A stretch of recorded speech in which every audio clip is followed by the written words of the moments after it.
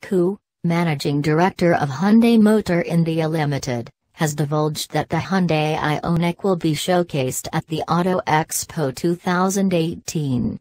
It is unclear whether a launch is on the cards too.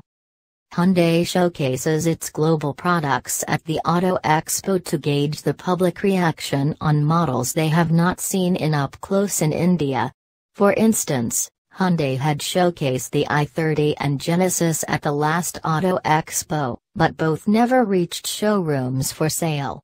Similarly, the Hyundai Ioniq will be brought to showcase Hyundai's innovations in hybrid car technology. The Ioniq plug-in's powertrain consists of the 105 PS 1.6-liter Kappa GDI naturally aspirated four-cylinder petrol engine along with a 45 kilowatts, 61 PS, electric motor powered by an 8.9 kilowatt-hours lithium polymer battery.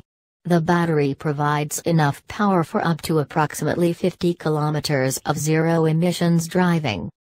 If Hyundai were to consider a launch, it would rival the fourth-gen Toyota Prius, which recently went on sale in the Indian market. As it would be imported, pricing can be expected to go as high as around 40 Indian rupees lakhs. For more updates subscribe Moto Guru.